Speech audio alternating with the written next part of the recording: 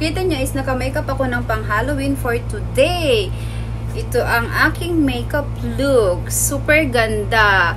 So, nag-start na akong mag-create ng mga Halloween makeup look. So, ngayon, ang aking makeup look is um, vampire. Ayan, super ganda. May mga ugat-ugat pa yan. Meron din akong kagat dito. So, ngayon ito ang gagawin nating makeup look for today. So, umpisahan na natin. Excited na ba kayo? Okay, here we go! Umpisa natin sa concealer, which is, gagamit ako ng medyo lighter concealer. Sa may aking eyelid. Gagamitin ko siya as my primer. Then, blend it out with sponge. Nakapag-skincare naman na ako at primer. So, I think that's fine. Prep and prime sa aking mukha. Then, set with loose powder or powder. Ipo-apply bago i-apply ang um, eyeshadow. Make sure later mo na ilagay yung uh, foundation mo or concealer sa buong mukha kasi medyo madumi siyang gawin kapag inuna mo yung yung foundation. So, kailangan eyeshadow muna, then the rest, late na yung pinaka-ano. Then, itong color ang gagamitin ko for my um, crease aking eye. Bago. Over your eye. Lang.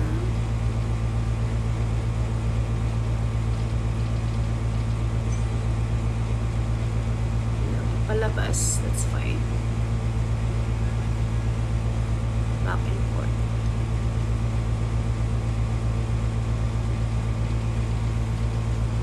Then next, gagamit ako ng Black Chalk Eyeliner. Gel siya. So, gagamitin ko siya as my base sa aking mata kasi ayokong gumamit kaagad ng eyeshadow na black kasi mala mag-fall out lang siya. Hindi siya magiging long wearing. So, siyang gagamitin kong base. So, ilalagay ko lang siya sa may eyelid ko.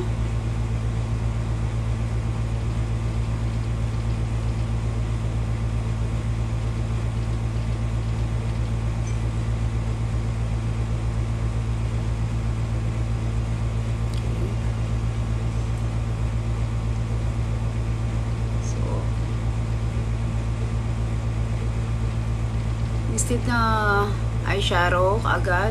Ito muna.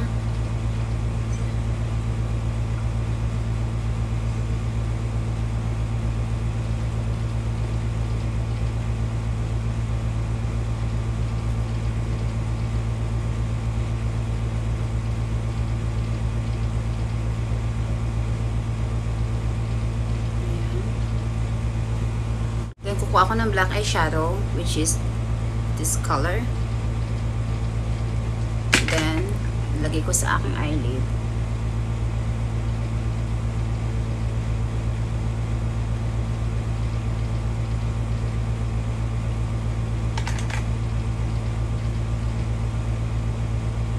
Then, after nun, after ng blending brush, i-blend out mo lang yung eyeshadow na nilagay mo dito sa may pinaka.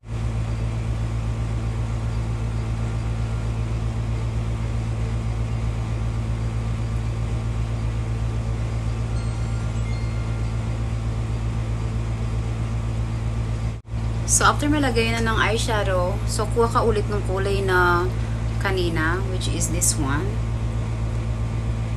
At i-blend ulit to sa may pinakataas para lumabas yung ayan palabas.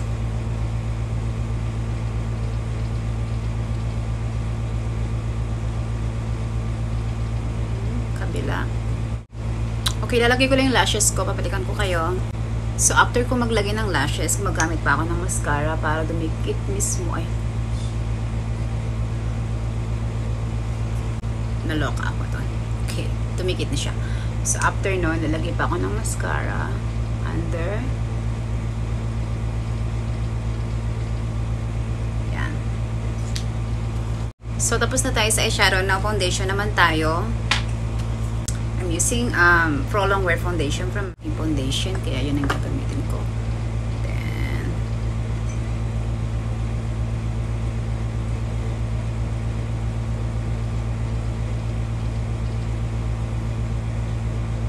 then, after that, okay.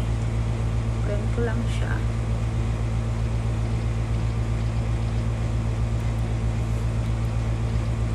Para yung mga nalaglago na fall out ng mga eyeshadow, malinis tignan.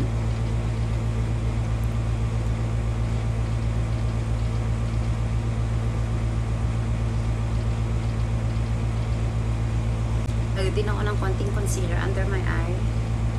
Konti lang. Then, blend ko siya ng sponge.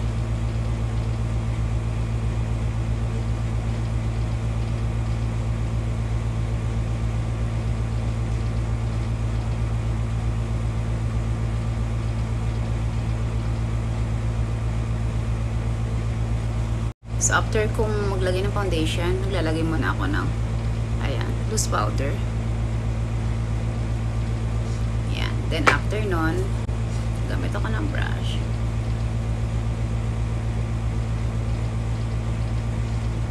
Out.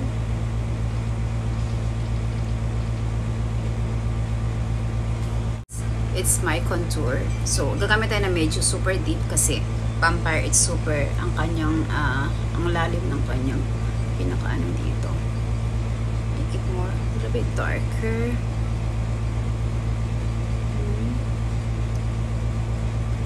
Pinaka dito sa may forehead.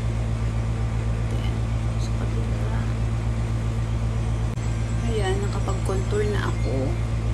Super pinaka dark ko siya kasi super malalim ang kanilang So, makikita nyo, gumamit ako ng eyeshadow dito. Same eyeshadow, which is this one. Under my eye. Kung ano yung ginamit ko dito sa pinaka-crease ko. So, ito lang sa pinaka-ilalim. Ta.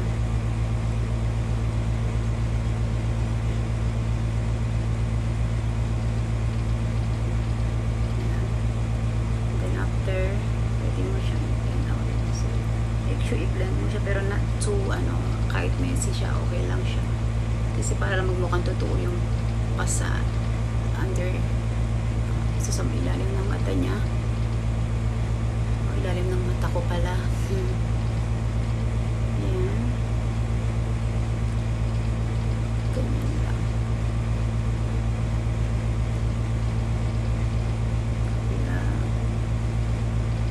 So, ayan nga, nakapalagay na ako ng eyeshadow dito sa may pinakailalim ng mata ko.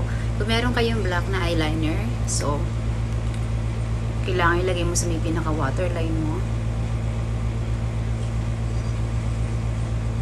Make sure it's waterproof.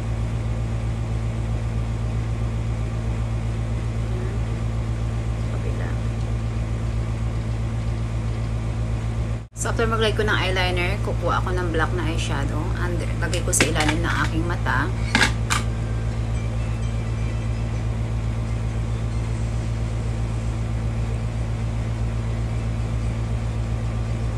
Blend it out lang.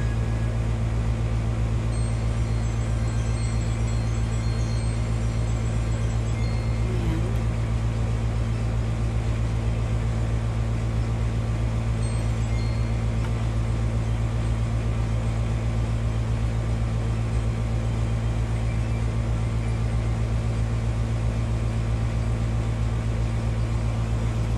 So, okay, tapos na siya. Nakapaglagay na ako ng eyeliner. Make sure lagyan mo din ng ano dito, yung ano yung naginamit mo sa under your eye, tsaka yung dito mo. Pinaka-contour mo sa may pinaka-ilong.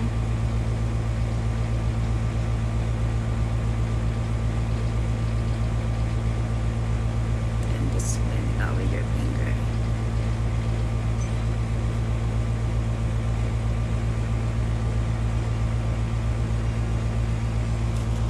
Now, time for mga, yun sa mga veins or mga ugat sa ilalim ng mata. So, gagamit ako ng liquid lipstick. Kung meron kayong liquid lipstick or, waterproof siya or long wearing, magandang gamitin yun or paint na kulay red, okay lang din yon. So, make sure meron kayong ah, super, super, duper liit na brush na ma-pointed na gagamitin para sa paints. Ah, maging mukhang totoo siya. Then,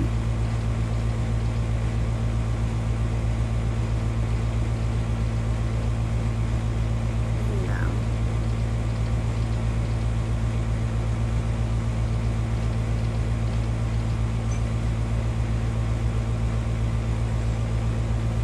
Kita niyo po ba?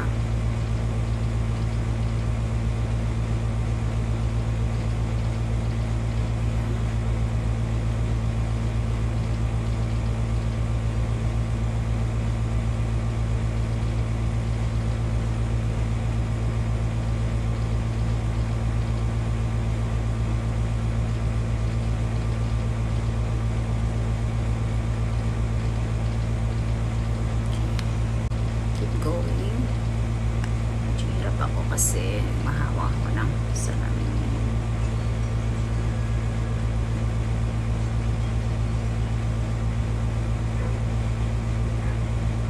Kalat lang siya na parang Ayan.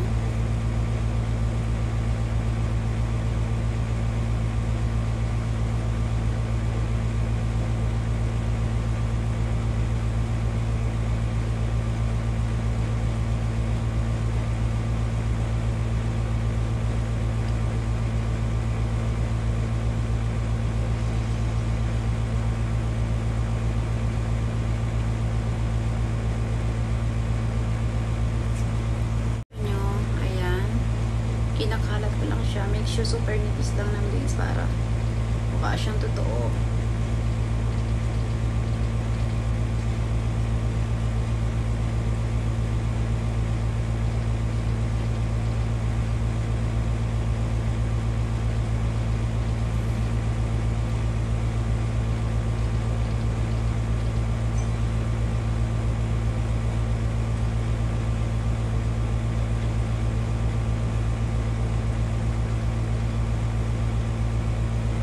Ayan. Tutok siya para makikita nyo. Ayan ang itsura niya. Okay. Ngayon naman, tapos na tayo sa mga paints na gamit ay li- liquid lipstick. Ngayon, kung meron kayong purple color na eyeshadow or medyo bluish red, ganon, pwede nyong i-mix or paint kung meron kayo. Pwede nyong uh, ilagay yon after dun sa pinaka, ila, sa ilang sa mga veins nyo na ipapatong nyo yung mismo pinaka siya. Make sure i, medyo basa yung brush nyo para pag nilagay yung ano, parang mukha siyang totoo. Para maging purplish reddish siya. Yan. Hindi naman lahat, yung ilang veins lang naman ang lalagyan. Then the rest kahit red siya, that's okay. Wala naman problema doon. Lagyan ko na siya ng eyeshadow yung iba, ayan. Ngayon, sa lipstick naman tayo, gagamit ako ng medyo deep color na purple red. So, yun gagamitin ko kasi yun ang mga lipstick ng mga vampire. So, gamit tayo ng kulay gamit itong lipstick na ito.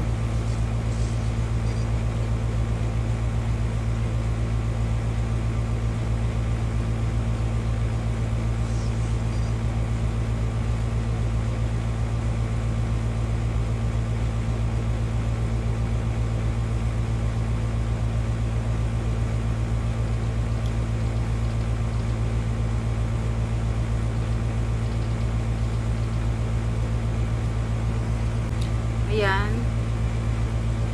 Tuos na siya. Tapos na yung lipstick ko. Gamit ako ng konting highlight sa may pinaka T-zone ko.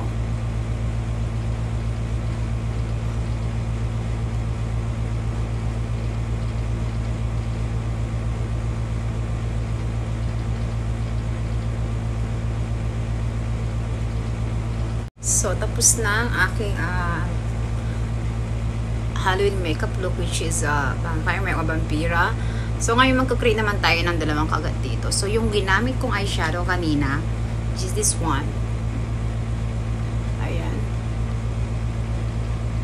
Lagay lang ng dalawang ano dito. Ayan.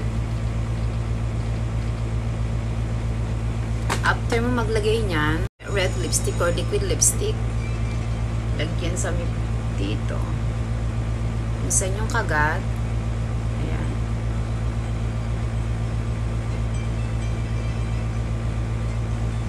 Sa inyong kagat mismo, lagyan lang siya ng liquid lipstick. So, kailangan medyo dry siya. So, lagyan natin siya ng... So, pag medyo dry na siya, lagyan natin na siyang konting black eyeliner para magmukha siyang totoo. Like 3D. May 3D effect siya. So, lagyan ko siya ng black eyeliner sa pinakagitna.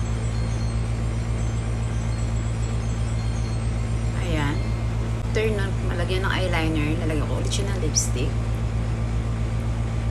Uh, liquid lipstick na medyo parang naano dito yung dugo. Then.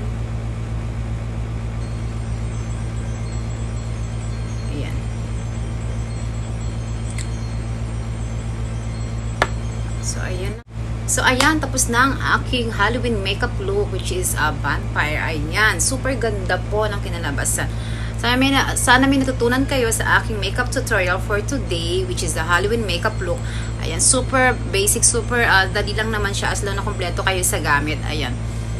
Sana magustuhan nyo. At don't forget to subscribe and also please uh, press the bell button to notify kung meron akong mga bagong vlog na ipopost sa YouTube. At thank you so much sa panonood. Thank you for watching and support me. Thank you and have a good night.